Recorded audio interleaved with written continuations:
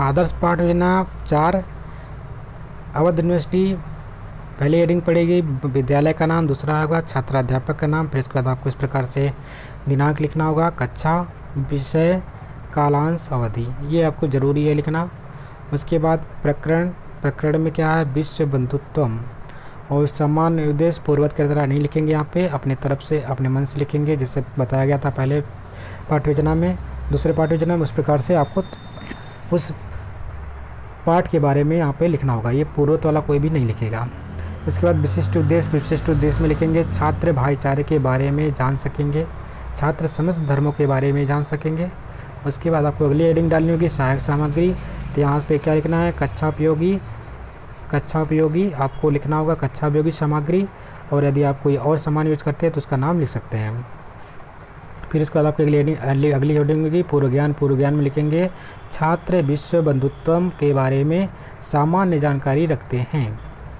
प्रस्तावना के प्रश्न, प्रस्तावना के प्रश्न की बात करते हैं तो उसमें एक आपको दो हेडिंग बना दो कॉलम बना लेने होंगे एक कॉलम में आपको छात्राध्यापक कथन क्रिया लिखना होगा, दूसरे में छात्र कथन क्रिया लिखना होगा।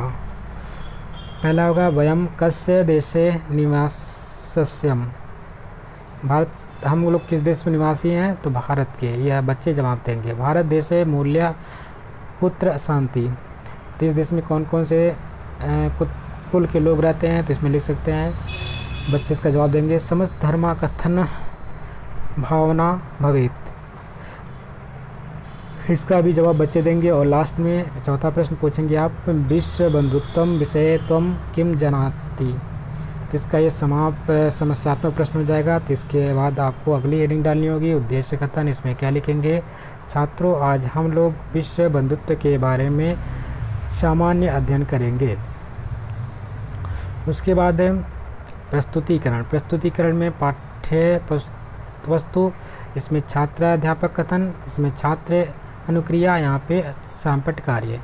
आदर्श वाचन, इसमें लिखेंगे, छात्र अध्यापक द्वारा शुद्ध वाचारण एवं उचित आरोह आरोह के अनुकरण वाचन किया जाएगा।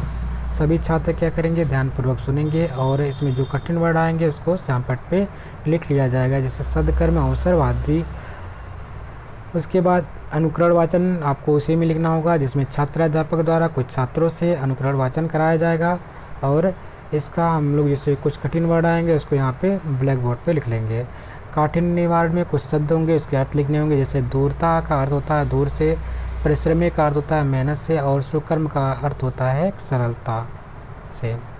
मौन वाचन का अगली हेडिंग पड़ेगी, मौन वाचन में छात्राध्यापक द्वारा समस्त छात्रों से मौन वाचन कराया जाएगा।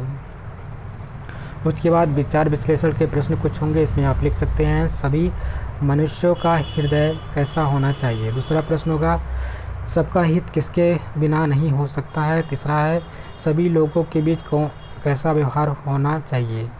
उसके बाद आपको अगली हेडिंग पड़ती है, पुनरावृत्ति के प्रश्न, इसमें लिखेंगे मानव मानव मानव प्रति किम दृश्यम व्यवहार कुरियात? दूसरा प्रश्न होगा सर्व जना जनहितम बंधुत्व बिना ना भवती। तीसरा होगा बंधुत्व बिना जना कष्टम अनुभवती। चौथा होगा वसुधैव कुंड कुटुंबकम के शाम मंत्रम भवती। ठीक है, इस प्रकार से आप लास्ट में ग्रे कार्ड दे देंगे। ग्रे कार्ड बहुत ज़रूरी है देना। उसमें लिखेंगे, विश्व बंधुत्व का अर्थ लिखकर सभी छात्र लाएँगे। विश्व बंधुत्व का अर्थ क्या है? इसका अर्थ लिखकर छात्र लाएँगे। उसके बाद आपका ये ये भी पाठ योजना कंप्लीट हो जाता है। आगे मिलते हैं पाठ योजना पाँचवें में।